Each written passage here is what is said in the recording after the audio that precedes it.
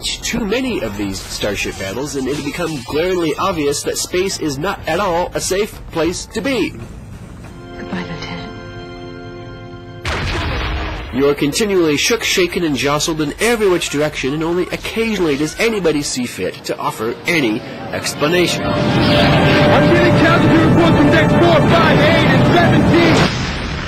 Did you ever wonder how we accomplished that violent rocking motion as if we were just struck by a photon torpedo blast? Well, sometimes it can be a two-step process. One, the camera filming the scene can shake back and forth. And two, the actors are choreographed to lurch in unison. After seven years, we've got it down to a science.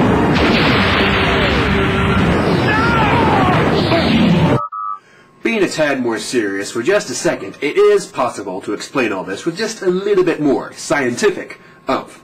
And this time, let's just come right out and say it. The conservation of energy. Energy cannot be created or destroyed. It can only change form.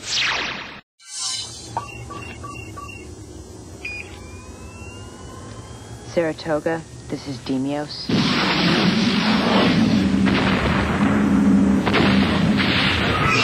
First glance, you might notice that the nuclear energy in the explosion was at one point entirely contained as potential energy inside the warhead. And if you said that, you'd be right. But we can do a lot better than that. We'll start with the flashlight and its batteries with chemical energy. The flashlight changes chemical into light. The solar panel changes light into electricity. The radio changes electricity into radio waves, which fly across space and hit on the other end where they're converted back into sound.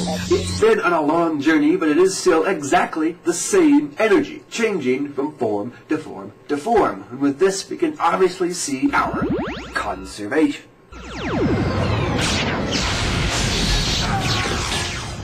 The destruction of a starship bulkhead, on the other hand, isn't nearly so visually obvious. The comms out. So our weapons. Physical objects don't explain at all how impact A can connect victim B.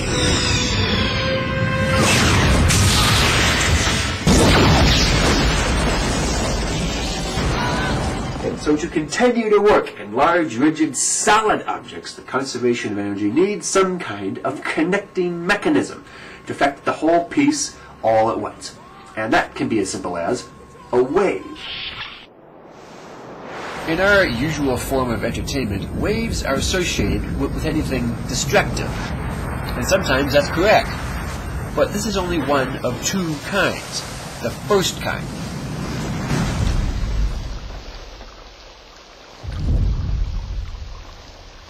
Whenever you see ripples, you're seeing transverse waves.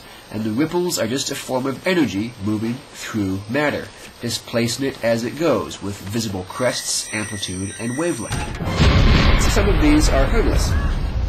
Others, not so much.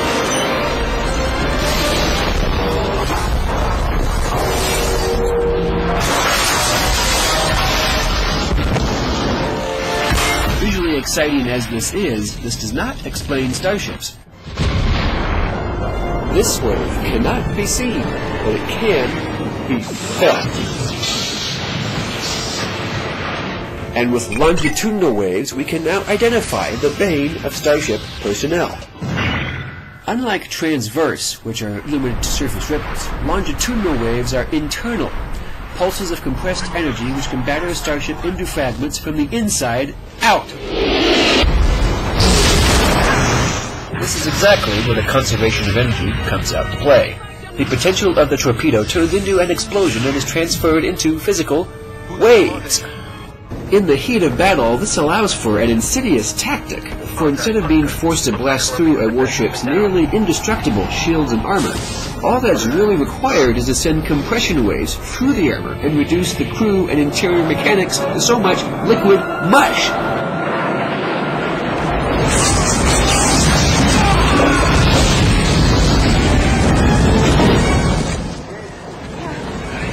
I thought we were too far inside to take a laser hit. We are. That was something else.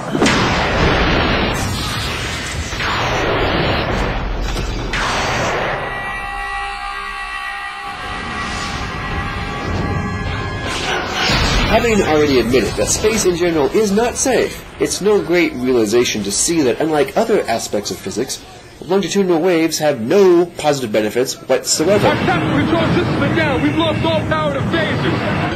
But since we can now identify waves, both transverse and longitudinal, it's now safe to think that we have the whole process all figured out. The Defiant has opened fire on us. Obviously. Not exactly.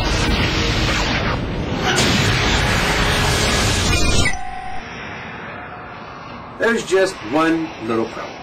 Everything that we hear here is wrong. For I could never bring up longitudinal waves without bringing up their most obvious example. Sound.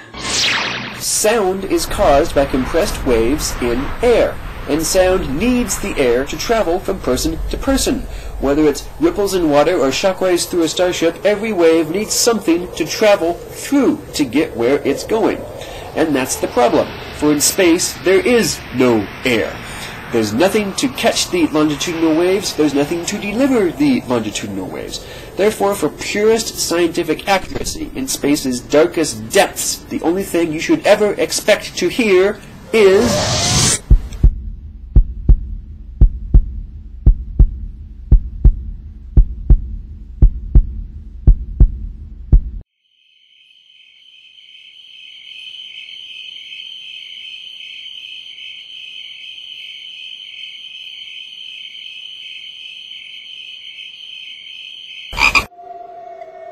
With apologies to Newton, Copernicus, and Kepler, this is totally the realm of the old fogey.